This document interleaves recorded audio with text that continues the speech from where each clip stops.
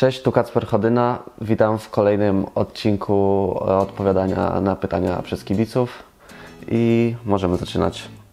Pierwsze pytania z Facebooka od Kacpra Dorowojewa. W jakiej lidze chciałbyś zagrać i jakie jest Twoje piłkarskie marzenie? No to myśl, moim zdaniem najlepsza liga do grania to jest Liga Angielska, dlatego chciałbym w niej kiedyś zagrać. I jeżeli chodzi o piłkarskie marzenie, no to myślę, że największym marzeniem jest wygranie Ligi Mistrzów. Następne pytanie od Przemka Sobotkiewicza. Jeśli grałbyś przeciwko Messiemu, to co byś, co byś musiał zrobić, aby go dogonić i zabrać mu piłkę? Mm, no myślę, że musiałbym być jak najbliżej niego, żeby no nie dać mu kilku metrów przewagi nade mną, bo wtedy już by było ciężko z dogonieniem go. Następne pytanie od Maćka Bułaciuka. Kto jest Twoim najwierniejszym kibicem? To myślę, że zdecydowanie rodzice, którzy byli na większości moich meczów w dzieciństwie i do teraz oglądają praktycznie każdy mecz w telewizji, jeżeli się nie da być na żywo. No i również dziewczyna.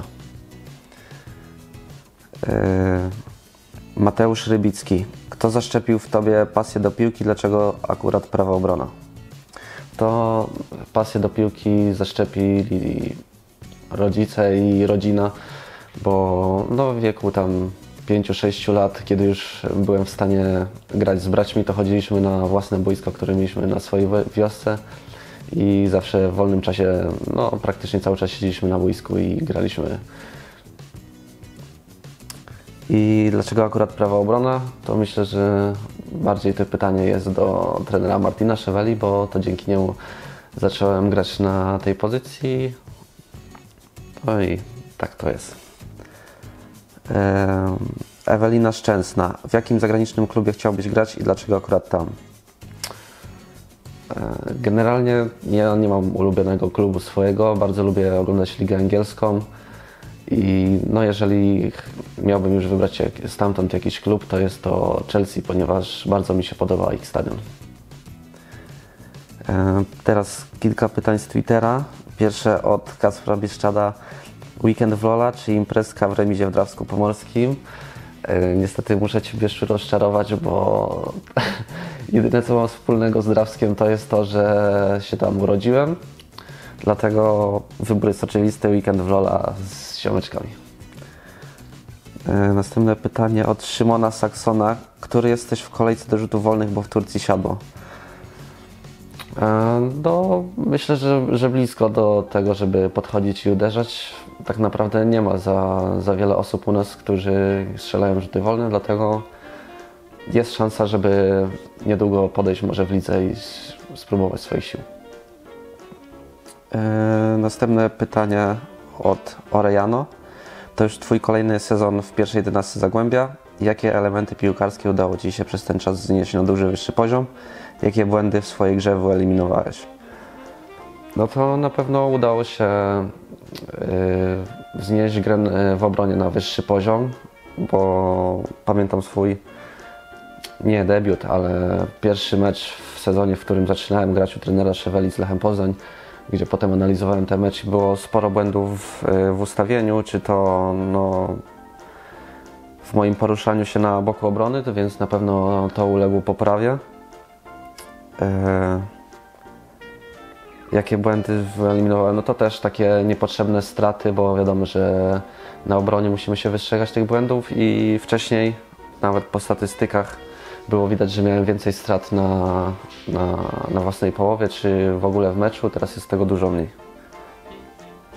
Następne pytanie. Lukas 385. Nie będę oryginalny i zapytam o to samo co Patryka Szysza. Czy w Twojej dalszej przygodzie z piłką widzisz się tylko w klubie zagranicznym, czy również w klubie krajowym? No na pewno każdy z nas pewnie chce wyjechać za granicę i spróbować swoich sił, ale wiadomo, że widzę też taką opcję, żeby grać dalej w kraju. Twardowski. Gdyby jutro trener Stokowiec powiedział Kacper, od dzisiaj grasz w pomocy, tak jak zaczynałeś, ucieszyłbyś się, czy raczej reszta kariery na prawej obronie? To już odpowiadałem na, na jakimś wywiadzie, że to już raczej nominalna pozycja to jest prawa obrona. Wiadomo, że z konieczności mogę zagrać na skrzydle i nie robi to dla mnie problemu, ale gdzieś już czuję się nominalnie prawym obrońcą. I teraz pytania z Instagrama od Hanshu, Hanshua Hetman. Czy po każdym występie indywidualnie analizujesz swoją grę, oglądając w powtórkach tylko siebie? Nie po każdym meczu analizuję y, tylko siebie i generalnie nie, nie analizuję każdego meczu, bo no, po, po meczu z Legią na przykład nie chciałem oglądać w ogóle tego meczu i wiadomo, że na analizie później trener, y, z trenerem analizujemy cały zespół i tak dalej, ale no, są takie mecze, gdzie po prostu nie chcę widzieć tych powtórek i skupić się na najbliższym meczu. E, Pytanie od Maciusia. Z kim masz najlepszy kontakt w drużynie? E, No myślę, że z tymi teoretycznie młodszymi zawodnikami, chociaż z Chładi mam dobry kontakt, a on raczej już się nie zalicza do tego grona, ale no Chładi, Łaki, Rata i, no i generalnie młodzi zawodnicy, czy Luki Poręba, to myślę, że z nimi. Pytanie od y, Łukasza Łakomego i Chładiego. Jaka postać Namida w LoLu i jaka ranga w LoLu? Myślę, że obecnie Korki najlepszy Namida i jeżeli chodzi o dywizję to Diament 4. Y, Dominik Haścioł, twój ulubiony piłkarz dzieciństwa to? No to chyba nie będę oryginalny, jak powiem, że Messi. I Lisu Dzika Korea 33. Lepiej mądrze stać czy głupio biegać?